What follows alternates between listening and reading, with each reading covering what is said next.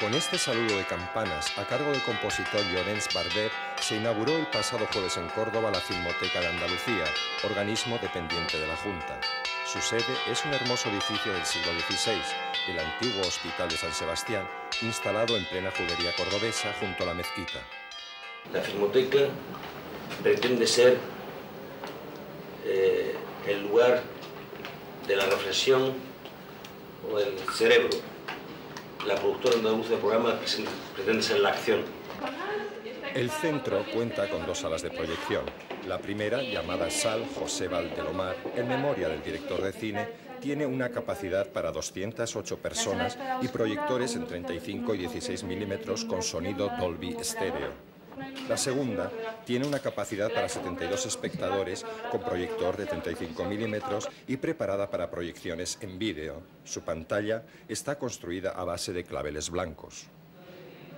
La Filmoteca tiene tres departamentos por ahora, el de programación, el de documentación y un pequeño e incipiente departamento de, de recopilación y recuperación. Y el más amplio de ellos por ahora es el de documentación, que es el que más fondos tiene y el que más información maneja.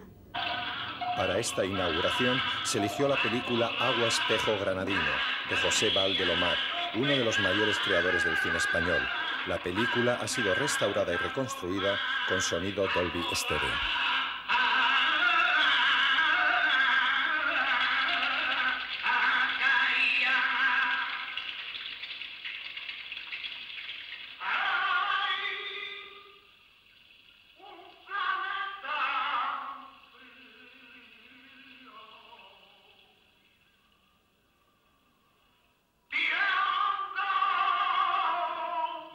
Es un gran orgullo el pensar que, por fin va a ser conocido en Andalucía.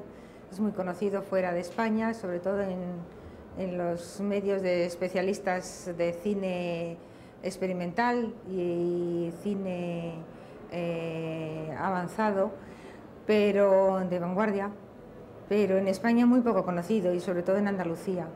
Yo conocí a Valdelomar hace ya demasiados años, año 56, en Berlín.